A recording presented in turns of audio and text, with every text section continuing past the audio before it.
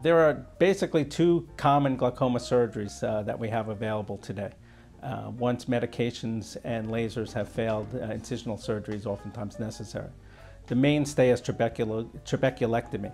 Uh, trabeculectomies have been done for over 50 years, we, where we basically make a small opening in the wall of the eye uh, that's covered with the skin of the eye, the conjunctiva. Patients wind up with a small blister under their eyelid, but it's not a painful procedure and there's no pain afterwards. This allows the pressure to build up outside of the eye rather than inside of the eye where it causes its damage. A related procedure involves uh, similar surgery except the tube is placed uh, in the opening. The tube then drains to a drainage plate that again is lift, uh, placed under the eyelid. Uh, patients generally uh, don't have a lot of pain from the surgery uh, and generally do very well. Recently, there have been some more less invasive procedures available that involve less surgery and possibly less risk during the surgery. These include non-invasive techniques that are done uh, at the time of cataract surgery, the newest being a small little stent or implant where a little stainless steel tube is placed in the drain part of the eye to facilitate drainage. Early results from these are promising, uh, but more work is needed for us to know if these are going to become the new mainstay.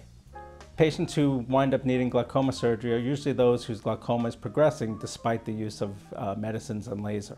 Uh, one of the things we continue to follow is the progress of your optic nerve and your visual fields. Should we feel that those are worsening, uh, despite the pressure being uh, suboptimally controlled, uh, we perform surgery to lower the pressure.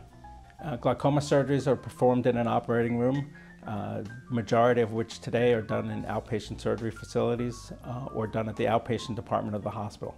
Patients uh, do not spend time in the hospital, they do not stay overnight in the hospital any longer.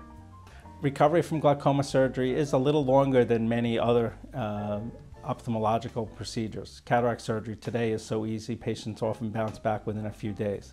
Glaucoma surgery, the recuperation is a little longer, sometimes a month or even a little longer. But once the recovery process is complete, um, patients do quite well early on in the recovery, you might be at your doctor's every other day to monitor the pressure because sometimes too much is coming out, sometimes too little is coming out, and these uh, events need to be monitored closely.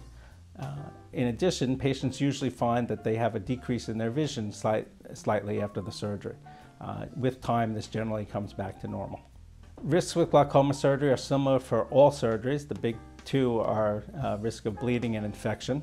Uh, we take great pains with both of these. Uh, infection, generally you'll be using antibiotic drops. That's one of the reasons why surgeries are performed in an operating room in a sterile environment.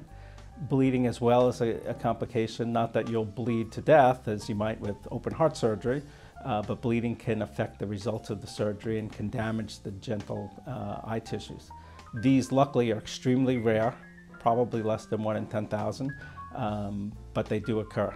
You can find out more information about glaucoma surgeries, uh, certainly from me and from our website. Uh, in addition, there's good information at the American Academy of Ophthalmology at aao.org, uh, as well as uh, Glaucoma Foundation at glaucoma.org.